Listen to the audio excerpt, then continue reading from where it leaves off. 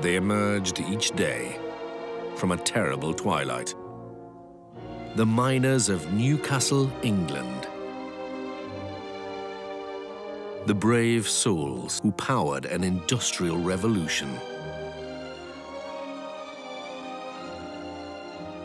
It was for these men that in 1927 we created Newcastle Brown Ale, which is perfect because nothing sells beer like old footage of people who had it way worse than you do